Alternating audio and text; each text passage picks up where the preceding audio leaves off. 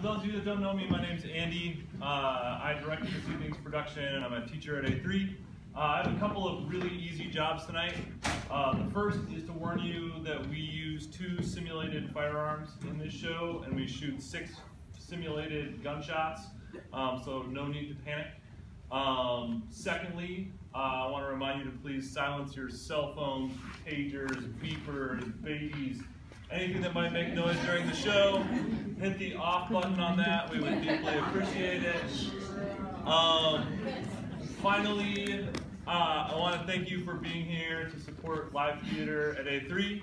Uh, we have, yeah, um, we have one more show this year. I wish I knew the dates, I would tell you, but I don't.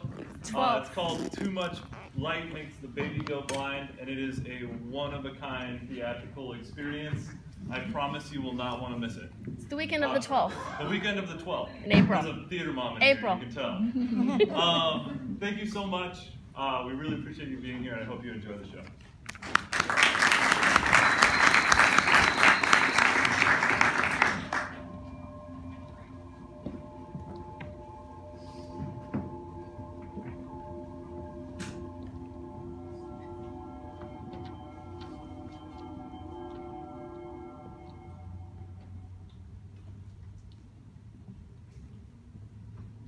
What is it ye would see? If aught of woe or wonder sees your search.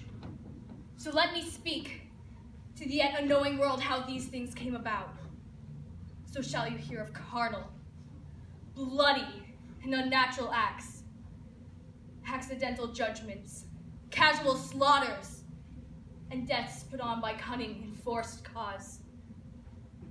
And in this upshot, purposes mistook, fallen on the inventor's reeds.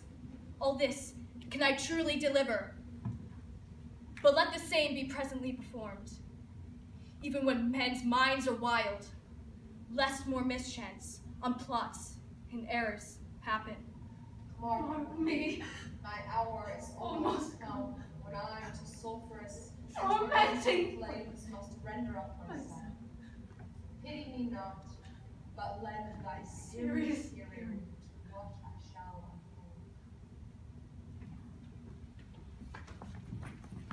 unfold. hail to your ladyship. I'm glad to see you well, Horatia. I do forgive myself. The same, my lady, and your poor servant ever. Oh, dear, my good friend. I'll change that name of you. But when didst thou arrive? I have not seen thee. Oh, only yesterday, but you've been busy. Well, I'm glad to see you. But what in faith makes you from Wittenberg? A truant my lady. I would not hear your enemies say so. Nor will you do mine ear that violence to make a trust of your own report. Against yourself, I know you are no truant. My lady, I came to see your mother's funeral. Pray, do not mock me, fellow student. I Think it was to see my father's wedding. Indeed, my lady, it followed hard upon. Oh, thrift, thrift, Horatia. Funeral baked meats will coldly furnish forth the marriage table. Oh, that I had met my dearest foe in heaven, wherever I had seen that day, Horatia. My mother. Methinks I see my mother. Where, my lady? In my mind's eye, Horatia. Shall not look upon her like again. My lady. I think I saw her yesternight. Saw who? My lady, the queen, your mother. Queen, my mother.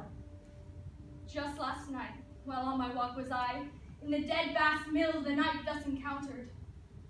A figure like your mother appeared before me, and with solemn march went slow and stately by me. Thrice she walked. Did you not speak to it? My lady, I did, but answer made it none. Yet once methought it lifted up its head and did address itself to motion like as it would speak, then vanished from my sight. Tis very strange. As I do live, my honor lady, tis true.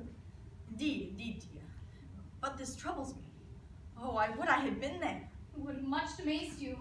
Very like, very like. I will walk with you tonight. Perchance it will come again. I warrant it will. If it assume my noble mother's person, I'll speak to it, though hell itself should gape and bid me hold my peace. If you have hitherto concealed this sight, let it be tenable in your silence still. I will requite your love.